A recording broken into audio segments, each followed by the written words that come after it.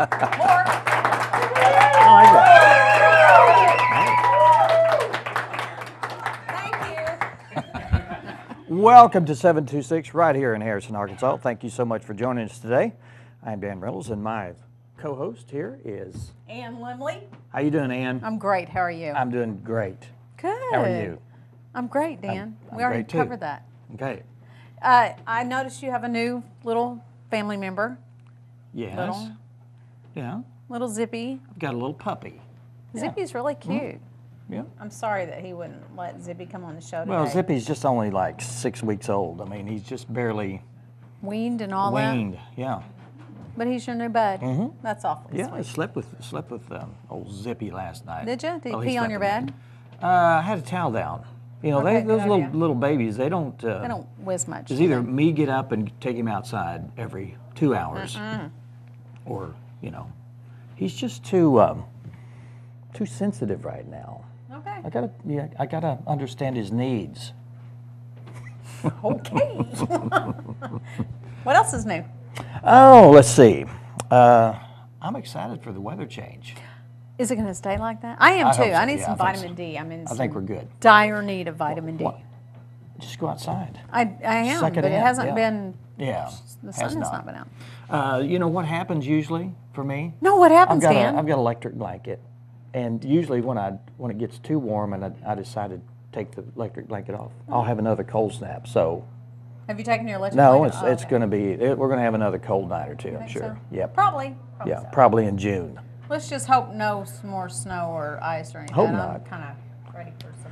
I'm, I'm kind of kind of tired of the wet, soggy, muddy. Don't you live on a dirt road? I do.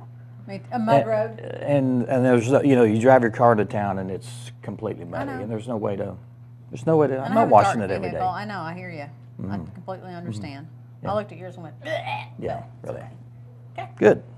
Yay. Yeah, you. I want to tell you what. I, Tell me. I, I went to Tulsa last weekend and went to a Kari Jobe. You may not be familiar with who that is. She's a contemporary Christian singer and Mm. went to her concert. And it wasn't really a concert, it was more of a ginormous worship service. It was absolutely amazing It was where? in Tulsa. But it was Okay. amazing. It was just an amazing. You spend the day an there? amazing performer. I spent the night actually. okay. Went shopping a little bit, but Okay. Did she go with you? no, Dan. Oh, I thought you may have asked her to go shopping. Nope. Well, I'm just But thanks just for want to digging. cover all the grounds Okay, here. well, you know, thank you. make sure that uh, our, our our people know what's going on out there. Okay. You know, we've got a great Yeah, lineup. this is going downhill. We need to get on with it it. always does It does, doesn't it? for us. Okay, let's talk about our lineup. How about that? Let's that? do. First up, we have Rancy Methvin and we have Michelle DeWald here. They're with the Chamber of Commerce leadership class. And then up after them, Logan Swanson and Helen Reynolds. They're here with the Newton County Senior Activity and Wellness Center. We have the cat, or part of the cast of Shenandoah, which is opening um, This at the weekend, Lyric this right? weekend.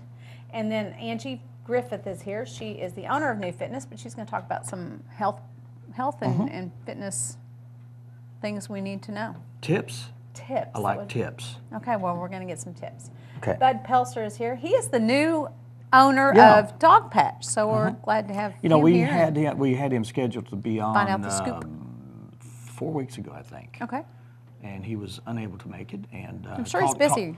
and I had an opening. I called him yesterday, and he says, "I will be there." Good deal, and he he's is here. So unless he gets scared and runs off, we're going to talk to him at the end of the show, find out all about the new things going on. at Dogpatch. He gave me a little, gave me a little insight. He's a talker now.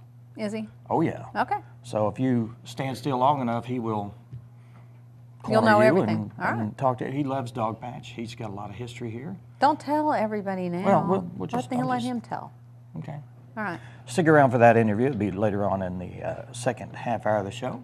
All right. Okay, now we're going to go to break, and when we return, we'll have Ramsey Methman and Michelle DeWald. Stay All with right. us.